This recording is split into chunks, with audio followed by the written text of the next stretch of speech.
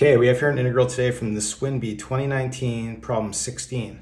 We have the integral from 0 to pi over 2 sine squared x times e sine x over tan x dx. Okay, now at first this was a really intimidating expression I wasn't really sure where to start. And then I was thinking we have, just notice that we've got sine here, we have sine here, but then we have tangent in the denominator. Well, tangent doesn't work very well with sine. If we want to try to do any kind of u substitution, we want like everything sine cosine, or if we want to make a u substitution for tan, we need like secant squared somewhere. So what I want to do with this tan is let's just write it in terms of sines and cosines. So tangent's just going to be sine x over cosine x. And I was thinking what I can do to clean this up is to cancel this cosine in the denominator, I can just multiply everything by one, just multiplying by cosine x over cosine x then that way this cosine is going to multiply in here and this one's going to just cancel with this one. So when I rewrite this, we're still going from 0 to pi over 2, but then we have this whole thing is going to become sine squared x e sine x. We'll have just cosine x dx here, and then the denominator just becomes sine x. Well, that's pretty good, because then I can just take one of these and cancel with one of these.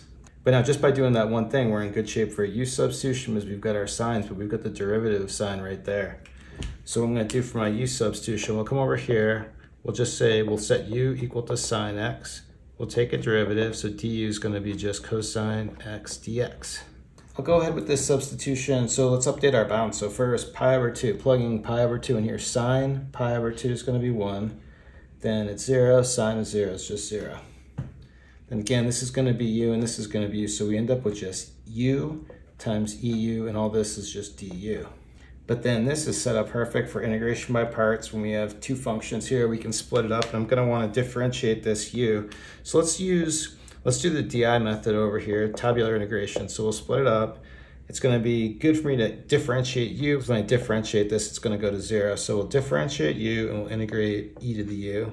And we'll do this three times, I think. So we differentiate u, we get one. Differentiate again, just zero. Integral of e to the u is going to be just e to the u. we do it again, we have another e to the u.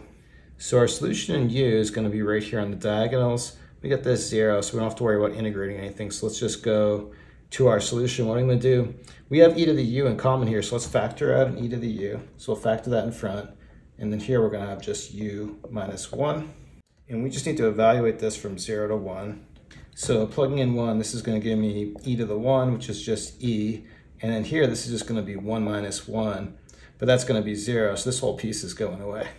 And then next we'll plug in 0, so we're going to have e to the 0. We'll leave it for a minute, and then this is going to be plugging in here. This is going to be 0 minus 1.